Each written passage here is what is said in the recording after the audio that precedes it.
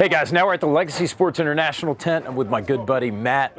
Matt has some new Howa rifles that he wants to talk to us about. What am I caressing here, Matt? Oh wait, before we go anywhere, I have to mention that I was bribed.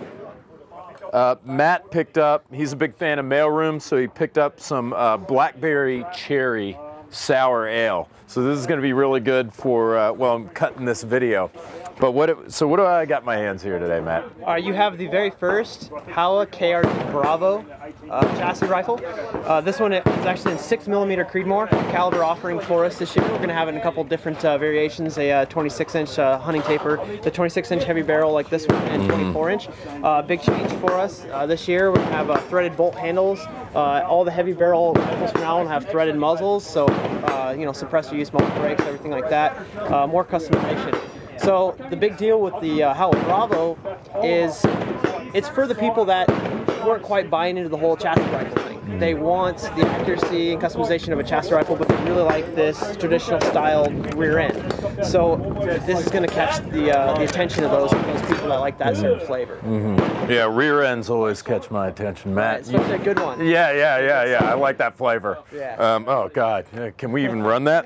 Um, and then you have another one over there too. The you have a chassis rifle, a new, right. for how. Uh, right. Uh, so we've actually got this guy. It's actually our mini action chassis rifle. So it, think of it as like our scaled down Howa HCR. You saw that. Yes. Yeah. Shot it a little bit. So we actually had a chassis developed for our mini action. So mm -hmm. very popular. Uh, 6.5 Grendel or 762 by 39. So we brought a Grendel with us today. Awesome little cartridge. So this uh, this guy's fully adaptable. So if you have someone else that would like to shoot this rifle, uh, rifle uh, bigger, you know, smaller, that's suitable for kids. Recoil is very very mm -hmm. minimal. Great, uh, you know, target hunting cartridge. And even shoot matches with it. So uh, this little guy uh, just maximizes our little mini action. Mm -hmm. So uh, super fun little rifle, very very accurate. Of -huh. course, everything comes with a sub one weight guarantee and lifetime warranty from Howa. Okay. So. Um, kind of like buyer's insurance. Yeah, sure. And are these on the market yet? Yes. So uh, these are available for order. Uh, six millimeter Creedmoor. We've got a few in house, uh, mm-hmm. like the one you're gonna shoot today.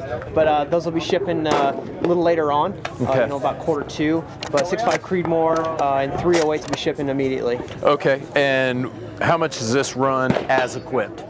So that that rifle, as it sits, uh, it's going to be available a, as a rifle only, and MSRP is going to start at 1279. Okay. So um, it's going to be a great rifle for those looking for recreational shooting, even you know crossover hunting gun, or mm -hmm. if they go out and shoot matches. I'm going to shoot a match with the Bravo this year, couple mm -hmm. matches, so uh, mm -hmm. it'll be great for that. Mm-hmm. Okay, and then and how much is the little fella running there? The, the action uh, runs about the same. Uh, okay. Uh, we'll go ahead and ballpark it the same, about 1279 for okay. the rifle only.